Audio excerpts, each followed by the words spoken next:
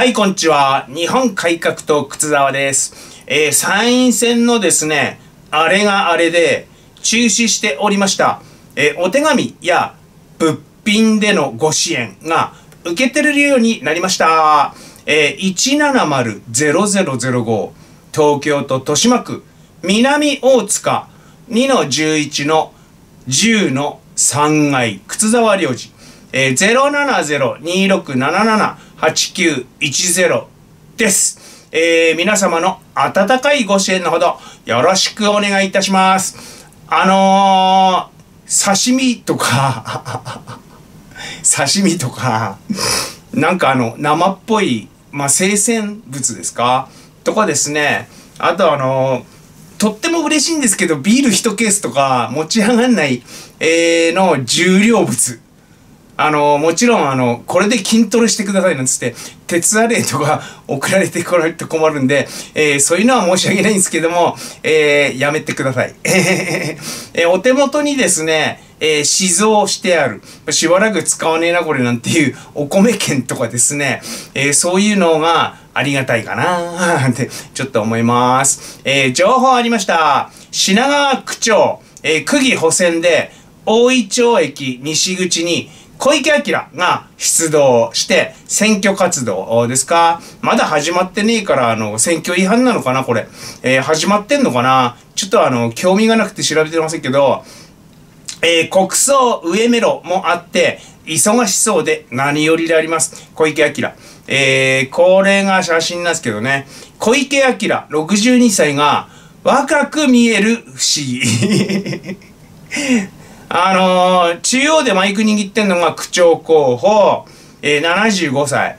えー、隣が区議候補、えー、この人もそのぐらいなんだろうね。えー、62歳ぐらいじゃ、ひよっこですな。共産党においてはね。支援車両で駅前を選挙5台、えー、車両ナンバーは前方から前のあの黒い車からですね、えー、こんな感じになっております、えー、で4代目の村川博和区長候補75歳新人。75歳新人。なんかどっかの大学の教授やってたのでなお車のナンバー練馬400ね8225であります、えー、村川ね。8月20日に観測された Now でヤングな選挙ギャルズの車両練馬400ねの8225と、えー、同じだな。この車は吉良よし子山添拓。両参議も選挙で使用していたですね。共産党のエース車両であります。えー、どっちも当選してっからね、えー、この車使うと縁起がいいから、エース車両ですね。えー、結論なんですけど、Now でヤングな選挙ギャルズは共産党の仕込み。知ってた。全然知ってた。えー、Now でヤングな選挙ギャルズはどこでスカウトしてきたんでしょうかね。えー、共産党員の孫とかですね、行きつけのキャバクラとかかな。えー、マスクしてるしわかんないって。で、実際そんなこと言って、えー、スカウトしてそうだな。選挙ギャルズはね。えー、安倍川秘宝。えー、9月22日最高裁。国葬上メロ訴訟を棄却。これにより、違法でも、違憲でもないという東京高裁判決が確定いたしました。ネットの反応です。まだやってたんかーい。門前払い。えー、最高裁のお墨付き出ましたあひゃひゃひゃひゃひゃえー、左翼、また負けたんか。えー、こういう時だけ、不当判決。言うね。えー、勝訴とかですね。えー、不当判決は出すわな。自分が気に入らねえ判決の時にね。えー、知見なんですけども、俺が気に入らないから中止しろ。そんなのが通るわけがない。えー、豊島区がやるですね、表彰式。えー、これ、あの、区に、あの、貢献した人。例えば、あの、何？えー、なんだろうな。なんだろう、区の、忘れちゃった、ど忘れしちゃった。えー、区のですね、なんか、お仕事、20年間やったとか、えー、町会長を10年やったとかいう人、表彰すんだよ。あとは、あの、心臓麻痺起こした人、心臓マッサージして助けたとか、泥棒捕まえたとか、そういったも表彰するんですけど、えー、年に1回表彰式やるんですけど、終戦の日に靖国で行う追悼式とかと何ら変わんない国の行事であります。えー、こいつを表彰すんのは気に入らねえから、表彰式を中止しろってあの、豊島区や裁判所に求めたところで、そんなの通るわけないよね。えー、まあ、あの、不当判決って言いたいだけだし、えー、訴訟しました。ご支援くださいっつって、寄付金集めることが目的だし、えー、真っ赤っかな弁護士会も、これにはだんまり決め込んでおりました、最初から。えー、初めからの無理って分かってたんでしょうね。えー、寄付した安倍川の皆さん、えー、気は済みましたか？気は済んだ。ああ、えー、左翼芸人、サヨール石井さん。ついにトルドーまで欠席。これが安倍外交の実績と大喜び。えー、個人を貶める最低のクズですね。えー、パヨール石井さんだっけかな。えー、ネットですぐにですね、ハリケーン被害のせいだよ。で、ツッコミが入っておりました。えー、ネットの反応、世論ですね。なんで欠席なのかぐらい確認したら、えー、葬儀に誰が来る来ないで個人を評価しようなんてのは極めて下品な振る舞いですね。えー、冷静に言われるから直聞くね、これ。えー、世界中から悼まれて批判してんのは安倍がぐらいですよ。えー、災害を自民党批判に利用する倫理観。えーこれが仕事と仲間が亡くなったものの末路。えー、コント赤信号、クビになったみたいですね、この人ね。えー、赤信号の赤は、あの、左翼の赤じゃねえかっていう、えー、そこまで安倍さんを憎む理由に興味があります。えー、これはあのー、魔王設定で、我々は魔王を倒す正義の勇者、ごっこやってたんですね。えー、試験なんですけど、無知で言ったか知ってて言ったかどっちかなんですけど、嘘でも何でも安倍側できれば、それでいいのかえー、いいんです。奴らにとってはいいんです。勇者ごっこの一環です、これも。えー、もうすぐ終わりますけどね。えー、なんせ安倍側の中では、あのー、安倍総理は倒すべき魔王設定で、死後にガチャガチャ言っても許される大悪魔って設定ですから、実際にはそんなこと全然ないのですね。こういう好き勝手が言いまくれることで証明できてますね。えー、北朝鮮や、あのー、金、全日だっけ？仙台は。それのあの悪口言いまくりっかって話だよね。北朝鮮やあの中国で言えか、言えないか、言ったらいなくなるっしょ。えー、まああのー、嘘でもなんでも安倍ができればそれでいいっていう、とてもとてもとてもとても癒やしい連中なんですよ。えー、このトルドー欠席ネタにはですね、他の安倍側もちゃんと食いついてました。えー、元朝日新聞記者の佐藤なんとか。どうする岸田これで G7 の現役首脳はひったりとり来ないぞ。安倍から嘘を、政治を引き継いだ岸田とか、えー、発狂しておりましたけど、こっちはあの、ハリケーン記事のリンクを貼ってのツイートなんで、パヨールとは違って知ってて言ってんですね。えー、公益の矛先が微妙にですね、あの、岸田総理にずれてますけど、えー、安倍政治、えー、嘘の安倍政治を引き継いだ岸田っていうことで、次はあの、岸田政治を許さないとか、プラカード作るのかなえー、まああの、岸田さん、魔王にされちゃいますね、そのうちね。魔王設定。で、俺たちは魔王岸田を、えー、倒す勇者、正義の勇者、ごっこ。えー、明日国葬終わったら、安倍側の喪失感は大変なものになりますね。えー、これは、これから何を生きがいにすればいいのか。えー、というわけでですね、あの、次は岸田だって狙われてんだろうな。まあ、あの、手に取るようにわかるんですけどね。ロシアの徴兵事務所、少なくとも10カ所以上に放火される。えー、他にも政権への不満が顕在化とあるし、ロシア革命パーツ2の始まりかな。ネットの話。革命だ、えー、敵はクレムリンにあり。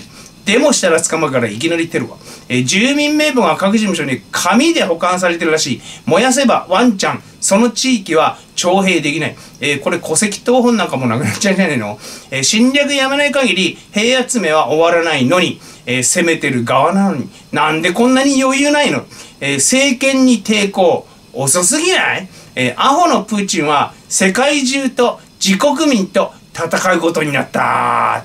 えー、ロシアのメディアはプーチンの代弁者で、特に高齢者はプーチン万歳。この戦争はウクライナのせいって洗脳されてるって聞きました。あとあの一部日本のあの言論人とかあもうですねこういうふうにあの洗脳されてる連中をちらちら見ます。えー、あれ特にあの高齢者が洗脳されてるっていうのは日本も似たような状況では、えー、まああの私の動画見れるような11%のエリート高齢者さんは別ですけど、えー、反戦デモ参加者を片っ端から捕まえて戦場に送ってんだって、えー、デモを見物していた人さえ捕まえて戦場に送ってんだって、え、年齢制限が60歳まで緩和された。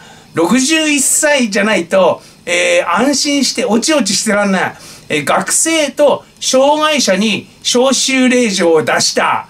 えー、特にですね、障害者徴兵に批判が集まったんですけど、ロシア政府はね、え、そんな大げさな、はっはっはっと鼻で笑ったそうであります。CNN の報道なんですけど、タクシー運転手が給油中にですね、捕まって、徴兵バスに押し込められた目撃情報もありまして、なんか野犬狩りの車見てじゃねえか、そんなの。えー、きっとあの、一日の徴兵ノルマがあるんでしょうね。えー、達成できないと、自分が戦場送りとか、だから必死で誘拐している自国民を、えー、いくらテレビが隠しても分かっちゃうね、こんなんね。えー、この騒動はですね、プーチン打倒まで行くかどうかは不明であります。なんだかんだ言って鎮圧されちゃうのかな。ソ連が崩壊するときは、さほど流血もなく、外国からはあっけなく倒れたように見えたんですけど、えー、実際はあのひどい流血があったけど、情報統制で情報が外部に流れてこなかった。だから我々知らなかった。だけかもしんないなえー、なんて思っております。えー、ネットで議論がなされておりました。なんで男だけ徴兵という究極の性差別が世界中で行われているのか、えー、ネットの意見なんですけれども、本当におかしいよ。えー、イスラエルは女も徴兵されるぞ。えー、男は妻子を守り、女は子供を守る。これ昔からやぞ。えー、そっか、あのー、お母さんは子供を守る。お父さんは守らない。お父さんは、あのー、妻と子供を守る。昔から。えー、なるほど。男だけ徴兵って言うんなら、女だけ出産してるんですけど、えー、戦争を起こすのは男なんだから、男が責任を取る。え、女にも参政権がある国では、そうとも言えんぞ。え、まあ、あの、女性首相も数多くいますからね。え、男がから戦争を起こすのは必ず男っていうわけでもないですよね。生物的なもんやし、しゃあない。韓国では、男だけ徴兵に不満で、20代男の6割が女性が憎いって回答。えー、女性が憎くないって答えた4割は、モテてる方ですね。多分ね、これ。えー、これあのー、北朝鮮の工作だと思いますよ。えー、でね、男女分断を図って、徴兵、自分の国に攻めてこれって困るから、韓国の徴兵をグダグダにしてやろうって北朝鮮の工作だと思いますけれども、まあね、あの、前の文大統領からして、北朝鮮の工作員だったからね。試験です。えー、理由1、男の価値が低いから。身も蓋もないですね。身も蓋もない。えー、ベイトマンの法則。これ何回も言いましたから、あの、ご存知の方、あ多いと思います。出産の負担が大きいメスの方が、ほとんどの種にとって価値が高い。えー、言い換えると、ほとんどの種で、オスの方が価値が低い。い や身も蓋もないでしょ。えー、原因なんですけど、まああのー、そういうふうな法則の原因なんですけど、出産育児に多大なエネルギーを費やすメスの出産数には限界がある。卵子の数をはるかに超える精子をオスは生産できる。イコール限界がないに等しい。えー、結果、オスはちょっぴりいればいい。オスはちょっといればいい。えー、男10人、女性100人の村は存続できますね。えー、男100人、女性10人の村は滅びるか、まあ先行きは非常に暗いっすよ。えー、まあ滅びるだろうな。えー、男女100人ずつの村があったとして、そういう村は男は90人まで死亡していいっていう理屈になっちゃうんだな。まあ、そのぐらいの、あのー、大惨事を許容できるっていうね。えー、理由に集団を守るため。えー、日本は一個体、まあ、超個体です。えー、格闘技の防御は手や足を使えますよね。まあ、ガードですね。え、ボクシングとかね。えー、頭や急所を 防御に使う人いないよね。いないでしょ。顎とかを、あの、防御に使う人いないよね。えー、顎なんかあの、ちょっと揺すられるだけで暗くなる。理由1、男は90人まで死亡を許容できるため、防御や戦闘は男が当てられるのは当然である。えー、女性が1個体に、えー、超個体にとっての脳みそとか顎とか目とか鼻とか急所とか大事な部分ですね。えー、まあまあ、あの、現在女性も徴兵されるのはイスラエル2年、ノルウェー1年、スウェーデン1年間、えー、イスラエル920万人、ノルウェー540万人、スウェーデン1035万人、えー、3国ともですね、人口が少なくて、男だけだと間に合わない、足りないっていう特殊事情がありまして、あとイスラエルは周りが全部敵国だし、北欧はロシアの脅威に何百年もさらされてまして、ロシアが脅威だってことは、今回あの、証明されましたよね。えー、私はおっさんですけど、お声がかかったら、お声がけいただいたら、えー、男だけずるいとか、くずくずしいこと言ってねえで、喜んで、あの、協力します。参加します。徴兵。えー、まああのちょっと肺がん上がりなんで、声かかるかどうかわかんないですけど、えー、細川忠興、左衛門座、合戦場において討ち死に古今これなき大手柄と、えー、死ぬことが手柄なこともあるんですよ。えー、左衛門座っていうのはあの真田幸村のことなんですけどもね、えー、日記に書いておりました、えー、誉れですね。えー、ですんで、あの、私は喜んで、えー、お声がけいただいたらね、えー、かかんないと思うけどな。えまあまあ、かかんないとは思いますけれども、えー、まあ、あの、そういうわけで、えー、物品でのご支援、よろしくお願いいたします。えー、メール党員さんになってください。日本は超個体である紙の本、印刷中です。えー、そのうち発売しますんで、よかったら、あの、買って、えー、お読みになってください。よろしくお願いいたします。デトックスジャパン。